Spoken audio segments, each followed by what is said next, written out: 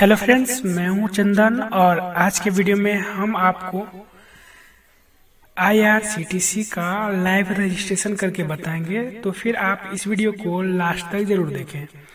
दोस्तों present time में C S C V L E के लिए एक ऑफ़र दिया गया है जो भी C S C V L E है वो आज अपना सी एस सी आईआरसीटीसी के अंतर्गत रजिस्ट्रेशन कर लें।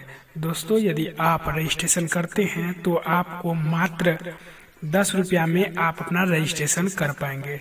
दोस्तों, पहले ये रजिस्ट्रेशन फ़ी दो हज़ार रुपया था और बीच में एक हज़ार रुपया लिया जा रहा था रजिस्ट्रेशन का।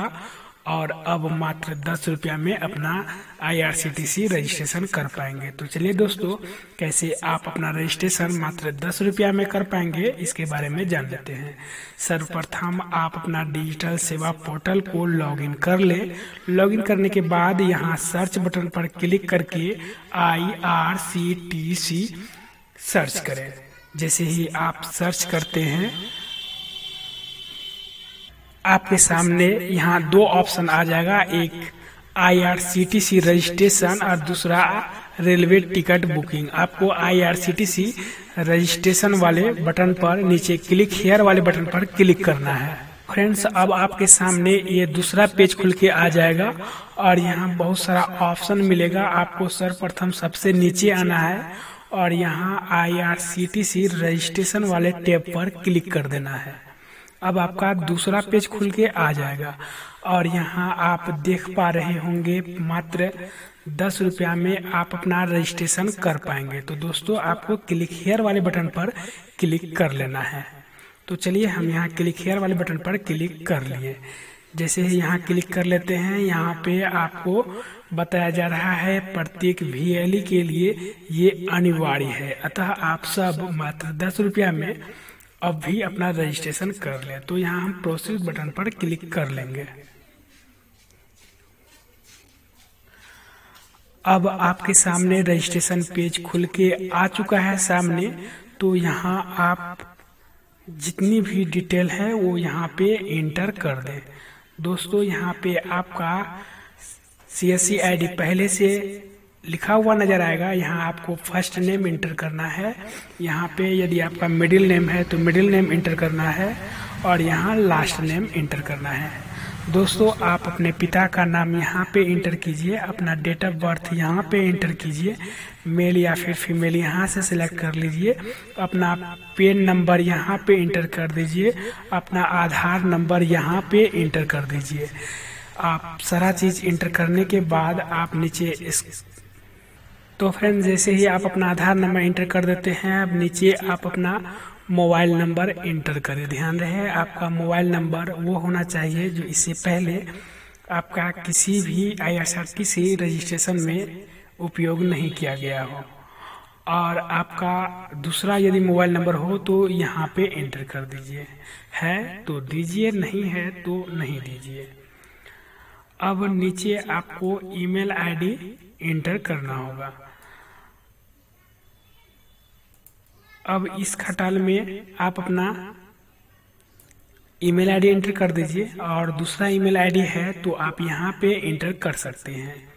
अपना स्टेट यहाँ से सिलेक्ट कर लीजिए, अपना डिस्ट्रिक्ट यहाँ से सिलेक्ट कर लीजिए, अपना पिन कोड यहाँ पे इंटर कर दीजिए और आपका जो एड्रेस है वो यहाँ पे इंटर कर दीजिए और यदि आपका ऑफ़िस एड्रेस अलग है तो आप यहाँ पे इंटर कर दीजिए। यदि सेम है तो दोनों जगह एक ही एड्रेस आप दे पाएँगे।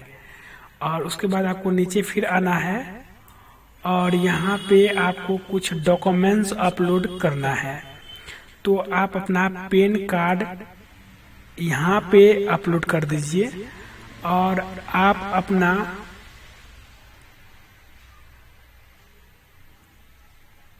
सीएससी का लोकेशन यहाँ पे अपलोड करना है।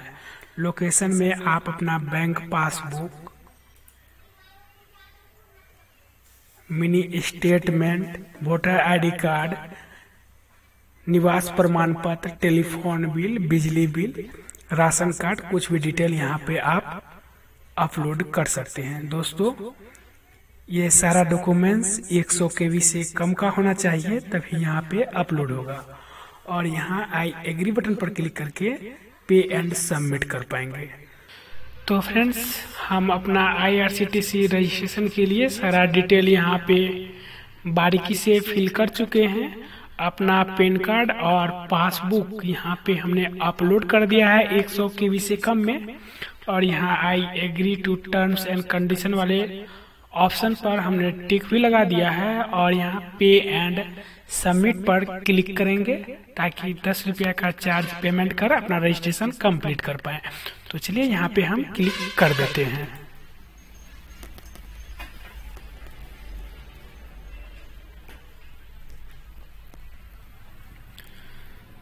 तो आप देख पा रहे हैं, हमारा आईडी यहाँ पे है रजिस्ट्रेशन नंबर यहाँ पे दिया गया है और हम पेमेंट पर क्लिक करेंगे। हमने पेमेंट पर क्लिक कर दिया है। अब ये रिडायरेक्ट होके हमारा डिजिटल सेवा पोर्टल वॉलेट के पास ले जाएगा, जहाँ पे हम अपना पिन इंटर करने के बाद अपना पेमेंट कंप्लीट कर पाएँगे।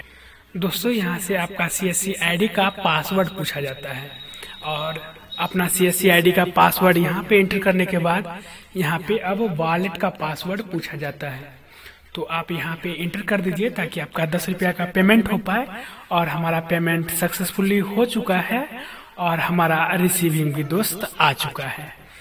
तो फ्रेंड्स हम यहाँ पे क्लिक करके अपना रिसीविंग प्रिंट कर लेते हैं ताकि भविष्य में ये हमें काम आए। तो फ्रेंड्स यहाँ पे हम तो अब यहाँ पे हम, यहाँ पे चेंज सेव एज पीडीएफ पर क्लिक कर लेते हैं।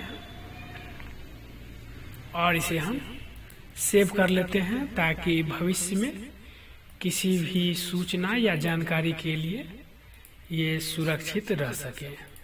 तो फ्रेंड्स, ये हमारा सेव हो चुका है। और आप चाहें तो इसका एक